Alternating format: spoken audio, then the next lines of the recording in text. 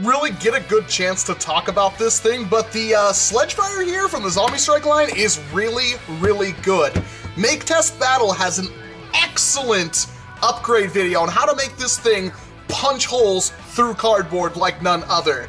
And it should be one of your first powerful Springer mods. If you happen to have this, it's really easy to get the stuff to make this thing good. In fact, the springs that I have in mine, I have extra internals over here. This is from the project that I have yet to finish, but I might as well borrow the internals for this. I got those from Home Depot, so then you just need like a rubber gasket and to modify the barrel. It's really easy stuff, but it's a great little shotgun. I actually like the shell mechanics in these things, especially the fact that this will eject shells if you modify the little mm, that shell pusher thingy in there. But these hit hard and they fired even stock. It wasn't the greatest of ranges, but it was a shotgun. It was like my bread and butter at Dart Wars when I used to go there.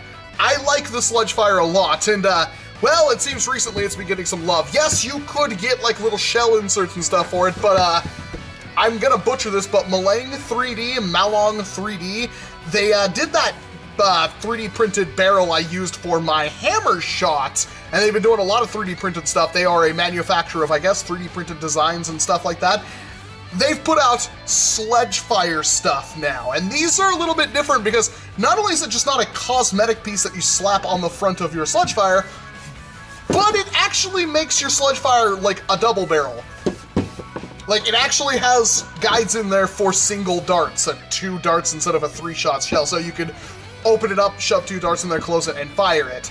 Which is really interesting. I'm not sure how that's going to work, especially with it being, well, 3D printed, and I guess I have to glue that rubber piece on, but it seems pretty good when I put darts in there. Um, here we go. When I put a dart in here, like, there's a good amount of squeeze on it. So I'm hoping this will be pretty good, but if not, I might have to brass it, which uh, maybe something for a later video, but I've got this in bright orange, and it's significantly longer than the original Zombie Strike Sledgefire barrel, which makes it look a lot better, because this just looks kind of dinky to me.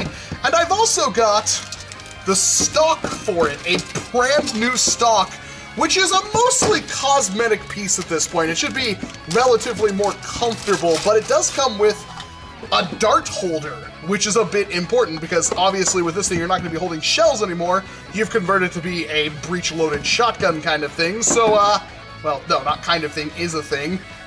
I've got a dart holder for it, and annoyingly, kind of annoyingly, it only comes with one. Which uh, I thought was a little ridiculous. It should come with two of them. I know you could buy these separately on NF Strike, and all this stuff was sent to me by nfstrike.com. So if you're looking to buy one of these after I've put it together and fired it, well, there is a link down in the description below to take you to their website to purchase it, along with a whole bunch of stuff. They send me a lot of things, and I really appreciate it because then I get to show you guys a bunch of stuff and get to play with new toys that I didn't actually have to pay for. But of course, my opinions are still completely my own. And Hopefully my opinions of this are pretty high because I'd love to get around to rocking a Sledgefire. In fact, the reason why I have this third one here, which I got from my friend Steven, is because I want to make a single really good Sledgefire. Um, now it's getting a 3D printed barrel and stuff like that, but if I really wanted to, I could just fill in one of these holes and put brass in one of them and have a single one, so you never know. But the point is, uh, I really wanted one, he gave me a second one, because the two I have are, uh, well, they're part of a project. Now, I am worried, because I am going to be putting in a much stronger spring and stuff in here. I'm hoping these 3D printed pieces, because like this stuff right here does not seem very strong, but hopefully it's pretty good. It comes with a new adapter piece and everything like that. So uh, I'm hoping, I'm really hoping it's like, that's the part where the rod's gonna connect to for priming and it's, it's metal, so it should be pretty good. So I'm going to install these pieces and I'm going to test them with the upgraded spring to give this the best shot of blowing me away. And if I can get like 90 to 100 FPS per barrel, I'm going to call that a success. Uh, more than that would be preferred, but if I can get like 90 to 100 FPS, I'll be pretty happy. So, uh, without further fanware, let's just uh, get this thing apart and get this thing installed.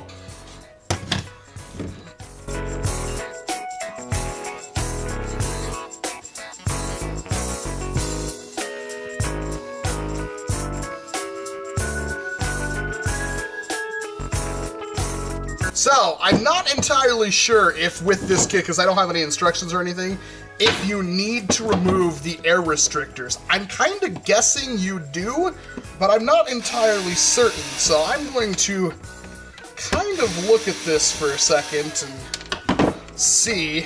Come on, come apart. Oh, I have to take apart one more screw to get this thing out of there. There we go. Come on. There we go. So this one, the reason why I'm changing is because this air restrictor is kind of messed up. It might actually depress down all three air restrictors stock. In fact, it looks like it kind of will. I'm not going to, I'm just going to go to my internals that already have that done. But just keep that in mind. You may have to remove air restrictors or something to put that together. Next up is, of course, putting this piece in. And to do that, I will have to remove this grub screw which conveniently it came with the Allen key to do that, which I really like because uh, I always seem to lose these things. so that's going to go like that. That's going to go in there. And this is going to go threading back down. That should be pretty strong, but I'm still a little worried about it. Hopefully it's okay, because I don't want to break this Gonna need to remove this from that because this is going to replace that. And there are, in fact, screws for this. And I, this does come in other colors. I prefer orange because, well, that's the safest. Um, it's also easier for me to paint than black. Although I do believe it comes in gray or a white as well which might have actually been a better idea now that I think about it. There we go. Now for the stock. This has its own new stock connector. With its own screws and everything. Like that. And then this will go in, yep, like so.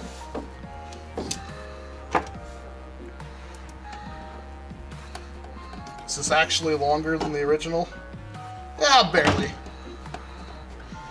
Still, it, it really makes this thing look like a more respectable shotgun, because I'm not gonna lie, it's a shorty sawed-off kind of thing, but it just, the proportions are so weird on the normal sledge fire that I'm, I'm, I'm glad to have a slightly more appropriate, longer one.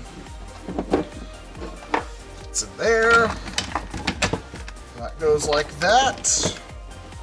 And that is essentially all we needed to do. Yep, that is, uh, that's pretty much it. That is looking really cool. Still a little too short, but still looking much better.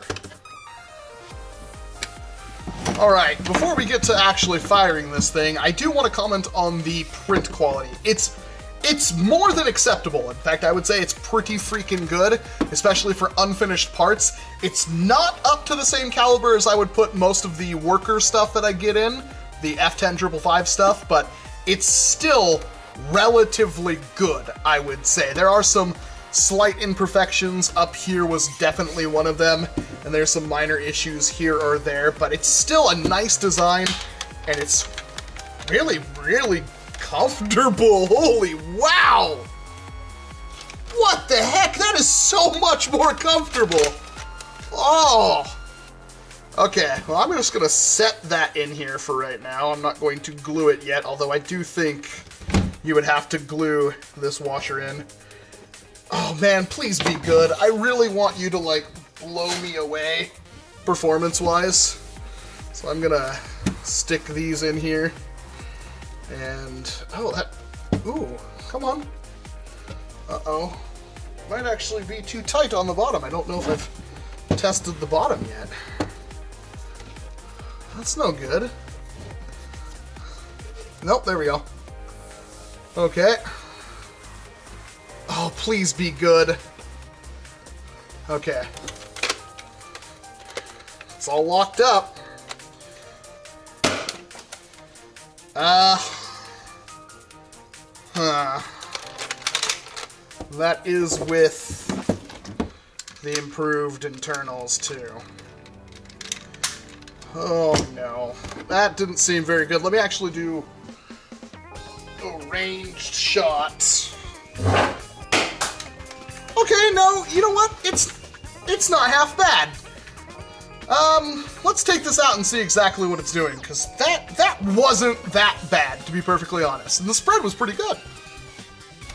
Alright, I went out there and got some firing footage, as you can see, with the very, very bright white elite darts that are brand new. The spread and distance are really good for what this thing is. I'm actually really impressed with it.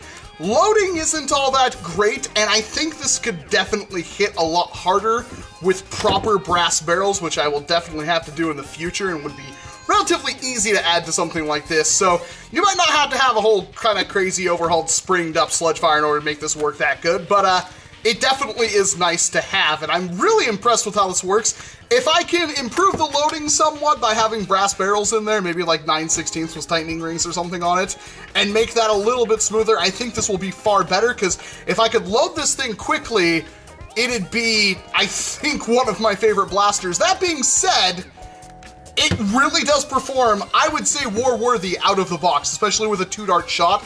Two darts is definitely easier to hit a target with than one, and these do have a good spread, and yet it's still incredibly accurate at the same time. So definitely a winner in my book. If you're looking for something like this, especially given a nice barrel to the sledge fire, I definitely check out the Maleng 3D. Uh, it says Maleng 3D and Pluto. And then on the other side it says Maleng 3D, or two Elite Darts and Pluto on the other side, which is really weird. Pluto like the dog? I, I, I don't know, but if you're looking for something like this, I can definitely recommend it because I'm having a lot of fun with it, and I think with brass barrels, it would be even better. It's very comfortable with its stock here being nice and flat and easy to shoulder. Could be a little similar to this, I think, because I thought this was nicer, but it is just, it's really, really comfortable to shoulder now. Incredibly comfortable to shoulder, and this is a fair bit longer. So yeah, no, I like it. I will definitely keep this one the way it is. I will most likely have to buy another upgrade spring to finish the current Sledgefire project, but this thing needs some painting, some brass barrels, and I think you'll probably see it again, because this is really, really cool. And if I could get this thing hitting a little bit harder and feed a little bit faster so I can go all Doom Guy on some people, oh, just, oh, I can't wait. Let me know what you think about the double-barreled Sledgefire mod kit down in the comments section below. Is this something that's uh, worth you dragging the Sledgefire out of the closet and hopefully giving it some more love? Because I certainly think it is, but let me know what you think. And as always, this has been Walcom S7. Thank you very much for watching this video, and of course, I hope to see you in an entirely different one. You gotta